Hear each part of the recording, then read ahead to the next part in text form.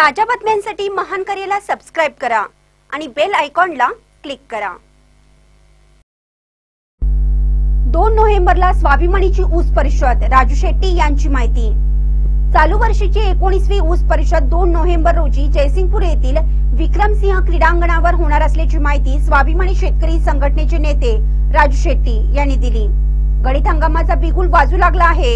या पार्श्वभूमीवर चालू वर्षी स्वाभिमानी शेतकरी संघटनेच्या वतीनं घेण्यात येणाऱ्या ऊस परिषदेच्या नियोजनाबाबत सांगली व कोल्हापूर जिल्ह्यातील प्रमुख पदाधिकारी यांची शिरोळ येथील माजी खासदार राजू शेट्टी यांच्या यावेळी राजू शेट्टी यांनी राज्यातील सर्व कार्यकर्त्यांनी कंबर कसून कामाला लागावं व एकोणीसवी ऊस परिषद यशस्वी करण्याचं आवाहन केलं.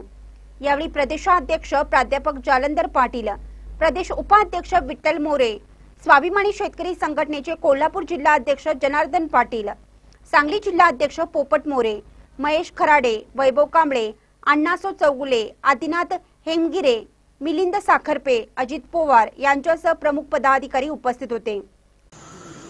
राज्याचे आरोग्यमंत्री राजेश टोपे यांच्यासहित अनेक ज्येष्ठ मंत्र्यांनी एक नोव्हेंबर नंतर महाराष्ट्र लॉकडाऊनमधून मुक्त होणार आहे अशा प्रकारे वारंवार वक्तव्य केलेले आहे आणि म्हणून दोन नोव्हेंबर रोजी एकोणीसावी ऊस परिषद जयसिंगपूर येथे घेण्याचं स्वाभिमानी शेतकरी संघटनेच्या आजच्या बैठकीमध्ये ठरलेलं आहे. जो गेल्या आठवड्यामध्ये मी मुख्यमंत्र्यांना एक पत्रही लिहिलेलं आहे. कारण महाराष्ट्रातले ऊस उत्पादक शेतकरी एकत्रित येऊन ऊसाचा दर ठरवण्याची गेल्या एकोणीस वर्षापासूनची ही परंपरा आहे. आणि ही परंपरा खंडित होऊ नये.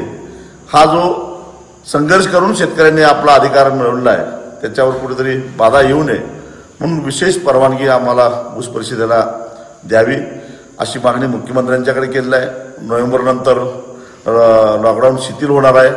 या सगळ्या पार्श्वभूमीवर दोन नोव्हेंबर रोजी एकोणीसावी ऊस परिषद जयसिंगपूरला कसल्याही परिस्थितीमध्ये होणार आणि ती घ्यायचंच असा निर्धार स्वाभिमानीच्या पदाधिकाऱ्यांनी केलेला आहे.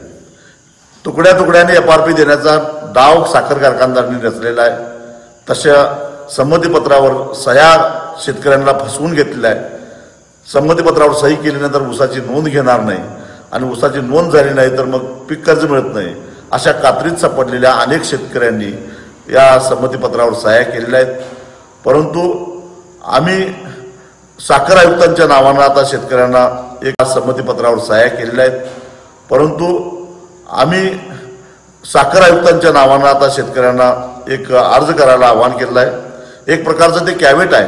कारण फसवून किंवा भीती घालून संमतीपत्रावर सही घेणं हे एक सरळ सरळ बेकायदेशीर आहे. एक एकोणीसशे पासष्टच्या ऊस दर नियंत्रण अध्यादेशानुसार एक रकमी एफ आर पी मिळणे हा ऊस उत्पादक शेतकऱ्यांचा कायदेशीर अधिकार आहे. तो कुणीही हिरावून घेऊ शकत नाही. त्यासाठी आम्ही रस्त्यावरची लढाई करू त्यावर त्यासाठी आम्ही न्यायालयीन लढाई लढू परंतु ऊस उत्पादकांना न्याय मिळवून दिल्याशिवाय स्वस्थ बसणार नाही. त्या संदर्भात त्यासाठी जे फॉर्म आहेत साखर आयुक्तांच्या नावानं भरून घ्यायचे ते सुद्धा गावोगावी कार्यकर्त्यांच्या मार्फत घ्यायला आता आम्ही सुरुवात केली आहे. महान न्यूजसाठी संदीप इंगळे.